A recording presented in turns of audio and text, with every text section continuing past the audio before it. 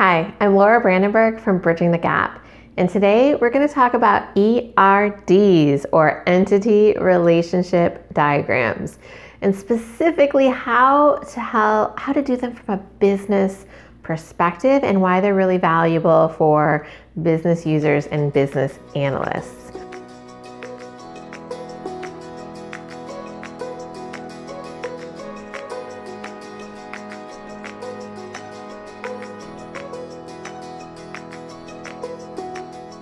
So, what is an ERD? An ERD is a data model that describes how entities or concepts relate to one another. So, those are two concepts with a line to create. And we're going to show you a model, um, an actual example before I close the video so that you'll have more than my fists with a line between them. But that is essentially it. We overcomplicate them because what often happens is the first ERD we ever see is like a messy spider web of boxes and arrows and lines and details and stars and all kinds of things, right? And we're like, this is crazy complicated. It makes no sense. The reality is, is that many of those, most of those, if not all of those, are automatically generated output showing the physical, the physical details of a database as opposed to carefully designed abstractions of concepts that help us conceptualize, talk about, and realize how business concepts relate to one another. It's the same exact syntax and semantics and modeling technique. It's the same modeling technique, but it's done in a very different way. We're going to talk about how to do it from a business focused way that looks at the very high level business concepts and the relationships between those. So, really, what you're doing in an ERD is you're showing logically how concepts relate to one another and what are the key data elements that you need to know about a concept as a business user. And it's a tool to help really communicate how information is stored and how the business thinks about relationships. So, what would be a business concept be? Like, just as an example, it could be customer, order, um, customer and order is a good one, right? Like, can a customer have multiple orders? And can an order have more than one customer? Usually not. Usually, a customer can order multiple times. That's awesome. But usually, an order has to have one and only one customer. That's what we mean by relationship. It could be job seeker, um, is another example we use pretty often. So, job seeker and their resume that they can use to apply to a job right? And then a hiring manager looks at that application um, and decides to contact them, right? So the, some of that got into flow, but like, how does a hiring manager and a job seeker and a job posting and a resume, how do those concepts relate to one another? Can one job seeker have more than one resume?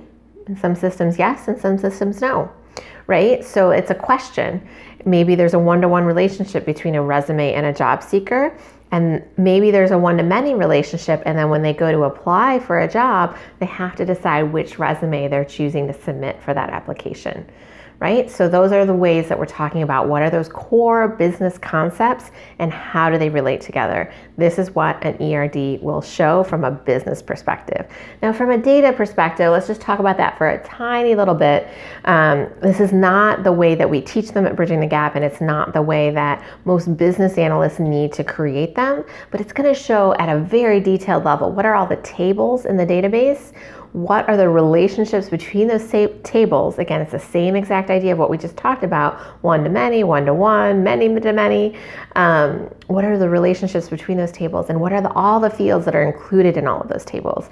And it's the physical, it's actually how the database is built, the, the physical structure of the database, um, which is important, right? We need that, but we don't always, there's a lot that goes into the physical structure of a database that is implied or not relevant from a business perspective. And when we show all of those details to our business users, we get that's a messy spider web I know nothing to do with, versus if we can winnow it down and show a very intelligent, thoughtful abstraction of that information, we can get some really important business input and clarity on business concepts that will help us build the database that will actually serve them better. Okay, so what's included in an ERD? We're going to show the visual model here, and I'm going to talk you through some of the key examples. So first are the entities, right? So the entity is the thing, the concept, it's the box on this model that you're looking at. So, in business domain terms, again, it's a concept. In relational database terms, it's going to be the table. Then there are the relationships. There are the relationships that connect those boxes, right? So, the, this is where the real insight from this diagram comes because we see how those entities relate to one another. How does the job posting relate to the resume? How does the job seeker relate to the resume, right? Relationships are really those verbs or the numerical relationship that links those nouns together. Um, and then finally, we have attributes. Um, attributes are the details within each entity, and there can be more than one attribute, right? So they provide detailed information about the concept. So if we're having a job seeker, we need to know their name. We need to know the date they joined, maybe. We need to know their current employment status, right? So some key attributes or information that we would store in this concept of job seeker. So by the way, like you have this sample here, I've also included the sample and the Visio swipe file of this along with 20 other, 21 other actual visual models in our visual model sample pack. And I really never do this. I never put, drop coupon codes into videos. Um, you might see it if I do it again. I've never done it before this one. Okay, um, that I remember anyways. So this is a bit sneaky, but if you are interested in buying that visual model sample pack, you can go to bridging the gap slash VSMP and use the coupon code vi- I'm just going to make sure I get it right. Video 22, video 22 to save $22 today. Okay? It's a $97 pack. It has 22 visual samples in it, one of which is the swipe file that you're looking at here.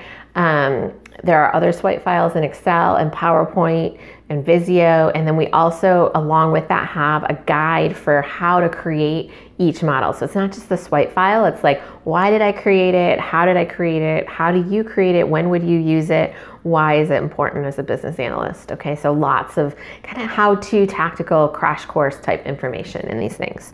Okay, but I want to talk a little bit more about that here, specifically on the ERD or the entity relationship diagram. So, how do you actually create this thing as a business analyst, right? Like, what do you do?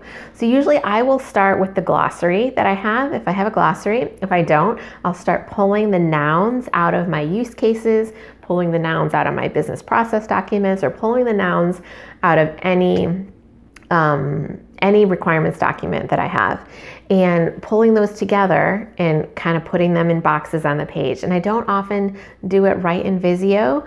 Uh, I more often will start on a blank sheet of paper and draw because it's really messy, or I'll do it on the whiteboard, right? And, and start to piece these things together because you're going to do it and you're going to redo it and you're going to look at it and then you're going to have lines crossing and you're going to need to move things around. And if you're trying to do it in Visio, um, you know, there's so much to figure out in Visio that it takes away from the headspace you need to figure out what are the concepts that I need to cover and what are the relationships that I need to cover between those concepts.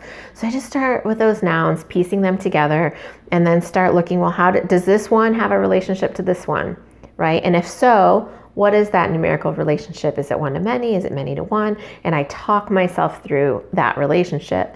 And then I put the line in with the appropriate notation um, to cover that relationship, right? And so there's two notations. I didn't mention this before. There's the crow's foot notation and there's the um, multiplicity syntax, which has a numeric value. So crow's foot um, represents that visually with like crow's foots at the end or one line, um, where multiplicity shows it in numbers. You can use either one. Um, we include examples of both because it's really personal preference or whatever your organization uses, be consistent.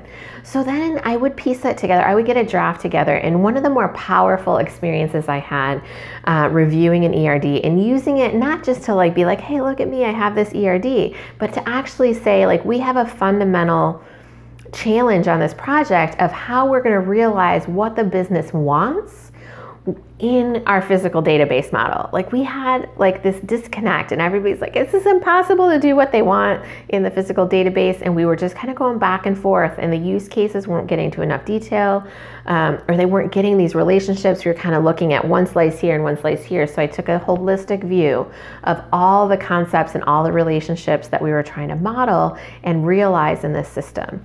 And then I sat down with my primary business subject matter expert and our primary development expert. And I gave him a printout of what I'd been working on, but I was like, this is just an idea, it's just a draft.